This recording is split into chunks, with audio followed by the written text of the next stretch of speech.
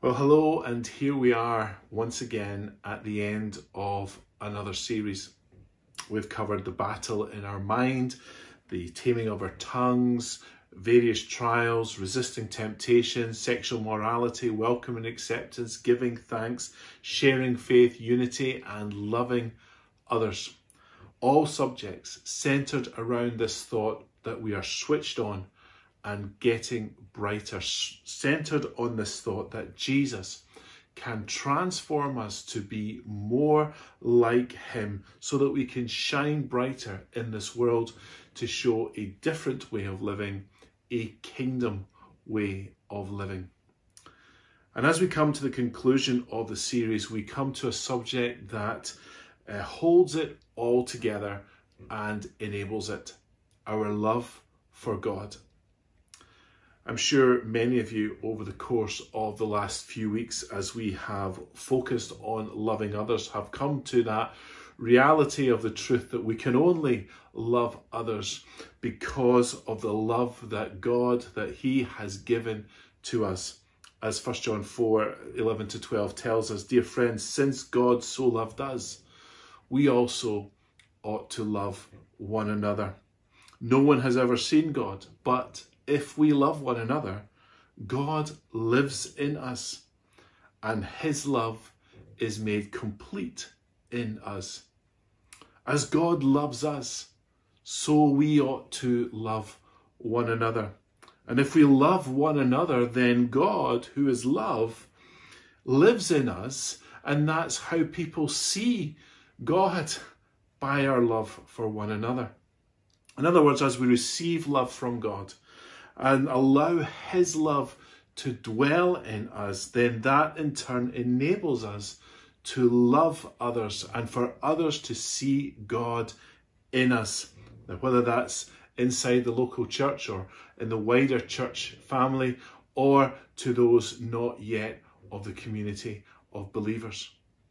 I'm sure many of you will have been asking in your life groups that question of how can we know more of God's love in our lives so that we can love others better.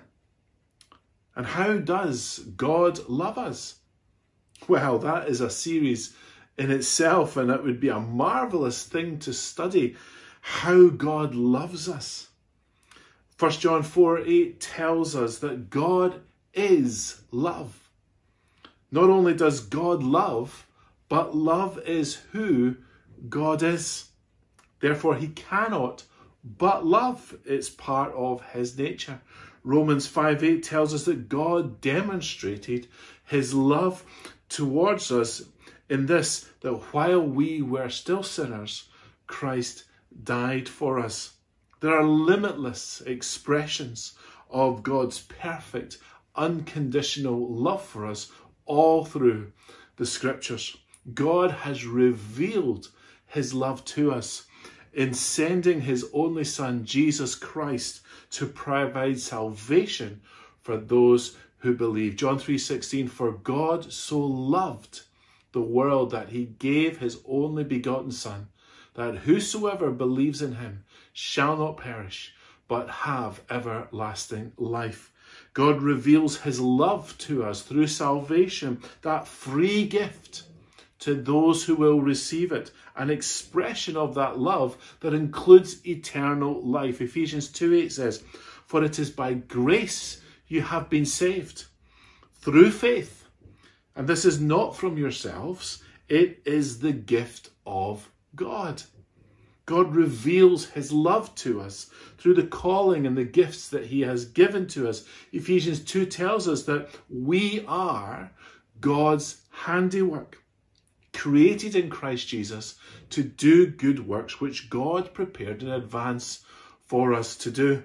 God reveals his love for us by making us part of his family. As 1 John 3 1 uh, says, and, and hear this, brothers and sisters, this is wonderful. See what great love the Father has lavished on us, that we should be called children of God.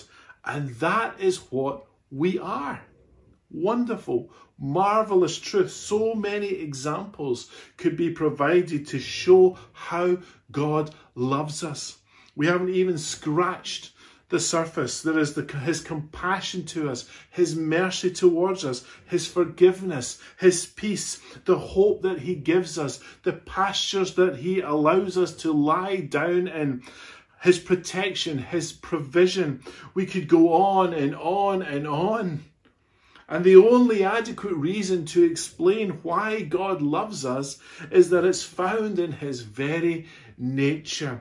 He is love and his love for us as his created beings ultimately is to bring glory to his name. And when we think of how God loves us, then our response is surely one of love.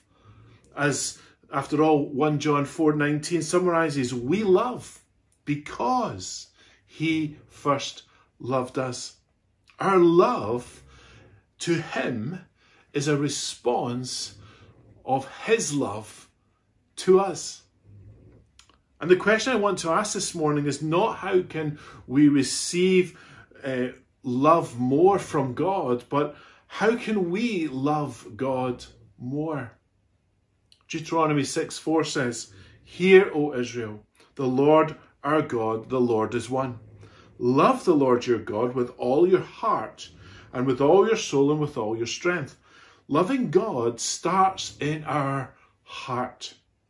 Matthew 22 tells us, Jesus tells us in verse 37, that the first and greatest commandment is this to love the Lord your God with all your heart and with all your soul and with all your mind. In Mark 12:30, that first and greatest commandment to love God is recorded like this: Love the Lord your God with all your heart and with all your soul and with all your mind and with all your strength. Some have tagged this command as the all command because of the repetition of the word all before uh, what we are to love God with. In other words, there is no room here for divided affections or allegiance. As Jesus says in Matthew 6 24, no one can serve two masters. Either you will hate one and love the other, or you will devote it to one and despise the other. You cannot serve both God and money. And love for God does have brilliant benefits. It allows us to enjoy God's sustained favour. Moses said in Deuteronomy 7 9, Know therefore that the Lord your God is God. He is the faithful God, keeping his covenant of love to a thousand generation of those who love him and keep his commands. Paul also said in Romans 8:28, and we know that in all things God works for the go- for the good of those who love him who have been called according to his purpose. The commonality between these two verses is the favour of God to those who love him. The keeping of his commands, the fulfilling his purpose to which he has called us are both expressions of that love for him. Love for God doesn't just mean to have affections for. It is the Greek word agape, to agape love someone is a choice. It is to choose to see them in a favourable light, to choose to delight in them, to choose to faithfully act on their path. It's a wholehearted, self sacrificing love. And when we agape love God, we see Him as the honourable one, the true one, the loving one. We trust Him and respond to that trust with obedience. And to love God with all of our heart and all of our soul and all of our might and all of our strength essentially means loving God with our whole being in every possible way, with everything we've got all of the time. But this seems impossible to fulfill completely because, in the natural state of man, it is impossible. No, there is no greater evidence of the inability of man to obey God's law than this one command to love him with everything we've got for all for every single moment of the day. No human being with a fallen nature can possibly love God with all of his heart and all of his soul and all of his mind and all of his strength 24 hours a day, 7 days a week, 365 days a year is humanly impossible. And we know that to disobey any command of God is sin. Therefore, even without considering the sins that we commit daily, we are condemned by our inability to fulfill this one command, this first and greatest command. We need to see and recognize our utter spiritual bankruptcy and our desperate need of a Saviour. Without the cleansing of sin that He provides and the empowering presence of His Spirit who lives in the hearts of the redeemed, loving God to any degree is impossible. Matthew Green says in his commentary in the book of Matthew, no one has ever loved God with all of his being, so nobody can possibly merit eternal life. Once again, it brings us back to grace. If we are to have any place in the kingdom of God, it will be due to the unmerited grace of God for sinners who could never make it by themselves. 1 John 4:10 spells it out for us. This is love. Not that we loved God, but that he loved us and sent his son as an atoning sacrifice for our sins. God desires to have that intimate love relationship with us. Our love for Him is a response to His divine love for us. Just like two people in love, we express our love for God by spending time in His presence, enjoying His nearness, listening to His voice, reading His word, and daily seeking to know Him better. As the Apostle Paul says in 1 Corinthians 8 3, but whoever loves God is known by God. We also express our love for him in doing what he asks. As Jesus told his disciples, and therefore us, John 14, 15, if you love me, keep my commands.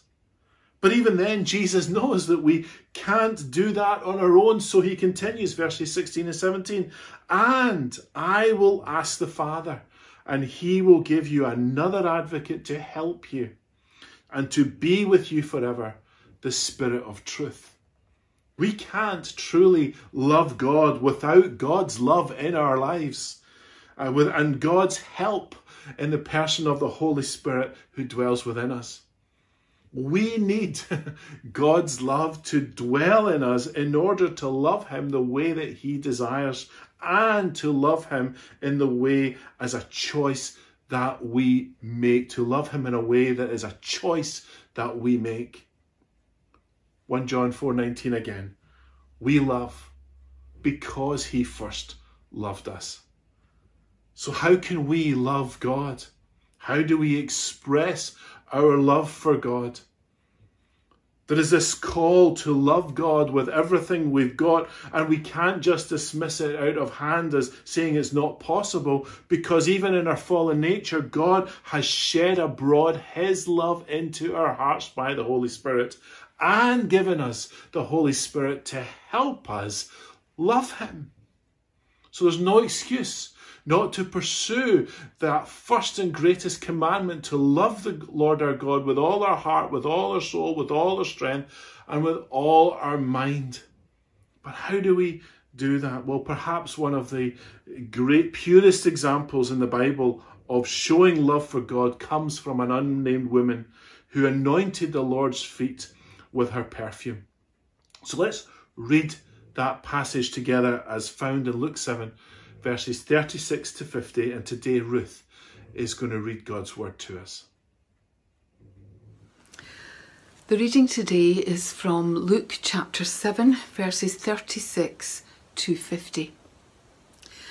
Now, one of the Pharisees invited Jesus to have dinner with him. So he went to the Pharisee's house and reclined at the table. When a woman who had lived a sinful life in that town learned that Jesus was eating at the Pharisee's house, she brought an alabaster jar of perfume. And as she stood behind him at his feet weeping, she began to wet his feet with her tears. Then she wiped them with her hair, kissed them, and poured perfume on them. When the Pharisee who had invited him saw this, he said to himself, If this man were a prophet, he would know who is touching him and what kind of woman she is, that she is a sinner. Jesus answered him, Simon, I have something to tell you. Tell me, teacher, he said. Two men owed money to a certain moneylender. One owed him 500 denarii and the other 50. Neither of them had the money to pay him back, so he cancelled the debts of both. Now, which of them will love him more? Simon replied, I suppose the one who had the bigger debt cancelled. You have judged correctly, Jesus said. Then he turned towards the woman and said to Simon, Do you see this woman? I came into your house. You did not give me any water for my feet, but she wet my feet with her tears and wiped them with her hair. You did not give me a kiss, but this woman from the time I entered has not stopped kissing my feet. You did not put oil on my head, but she has poured perfume on my feet. Therefore, I tell you, her many sins have been forgiven, for she loved much. But he who has been forgiven little loves little. Then Jesus said to her, Your sins are forgiven. The other guests began to say among themselves, Who is this who even forgives sins? Jesus said to the woman, Your faith has saved you. Go in peace. Amen. Amen. And may God add a blessing to the reading of His Word. There's just a couple of observations I want to make on this passage.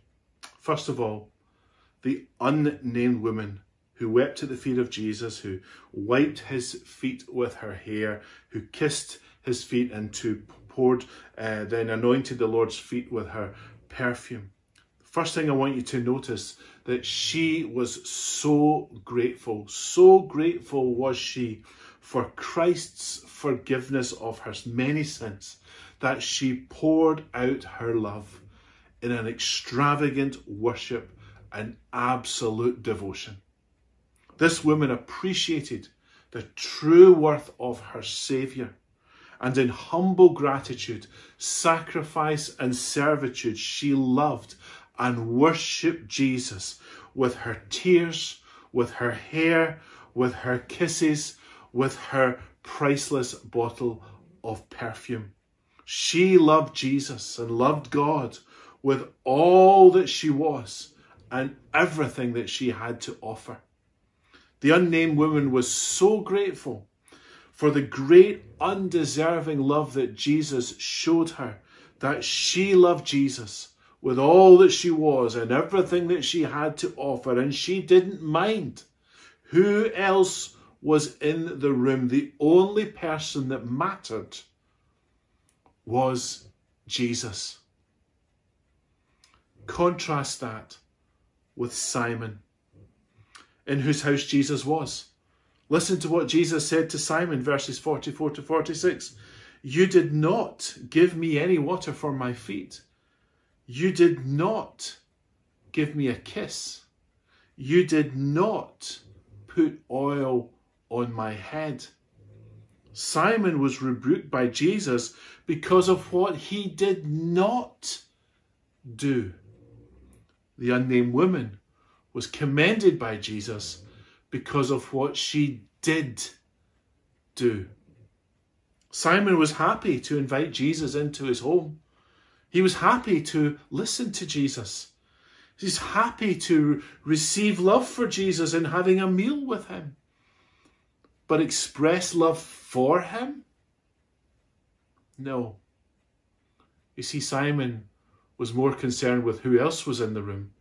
He was more concerned uh, about what they would think because you see, Simon had not yet received that revelation of who Jesus really was. Verse 39, we find Simon thinking to himself about Jesus if this man, if this man were a prophet. Simon had not yet come to know who Jesus actually was and receive his love into his life. The unnamed woman, however, had. And this caused an outward expression. You see, we love because he first loved us. Most of us can remember a time when we were when we fell in love. That passionate, all consuming, single minded adoration is the kind of love that God desires from us. The Bible says that King David, the man after God's own heart, had this singular passion for God. Psalm 42, verses 1 and 2 reads, As the deer longs for streams of water, so I long for you, O God. I thirst for God, for the living God. When can I go and stand before him? David exemplifies how we are to love God by delighting in praise and worship. Psalm 84, verse 2 My soul longs, yes, faints for the courts of the Lord. My heart and flesh sing for joy to the living God. There's been a song going round my head from Elevation Worship called What Would You Do? And it just asks the question What would you do? If Jesus physically walked into the room? What would we say? What would we pray? What would we praise if Jesus was physically came into the room? And I found it a real challenge because it's forced me to ask, what would I do? What would be my response? Because my response would be based on how much I love him how much I'm willing to express to Him my love for Him as a result of how much He has loved me and how much of His love I've received into my own life. Would I be like Simon? Would it be marked by what I did not do? Or would it be like the unnamed woman, marked by what I did do? The unnamed woman wept. She wet the feet of Jesus with her tears. She wiped Jesus' feet with her hair. She kissed them and poured perfume on them. That's what she did when Jesus was in the room.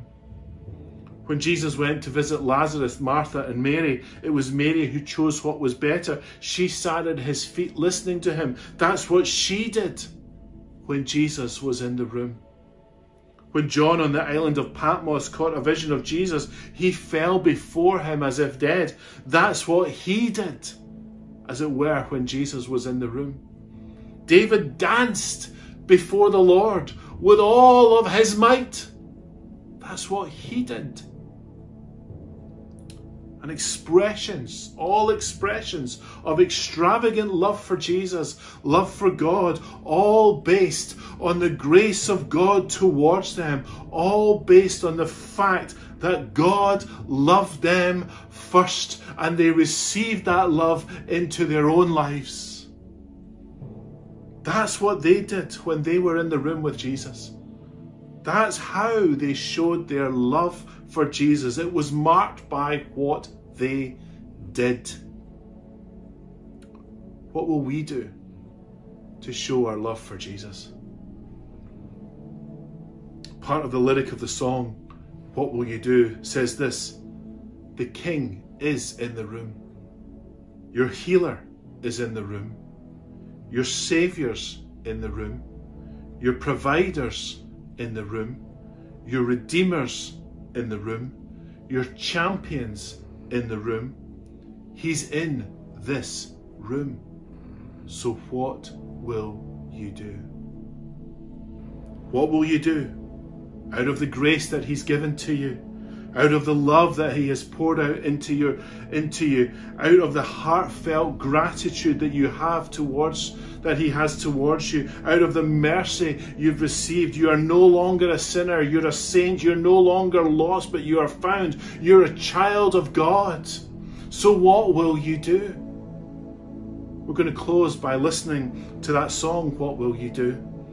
And can I encourage you as you listen to this song, show Jesus how much you love him. Express it to him. Shake off that Scottish reserve. Doesn't matter who else is in the room with you, the only person that matters is Jesus. Let his commendation come to you because of what you do. Jesus knows your heart.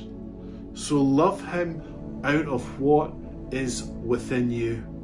Out of our being comes our doing. And that includes expressing our love for him with all that we are and everything we have to offer him. So let's express our love for him now.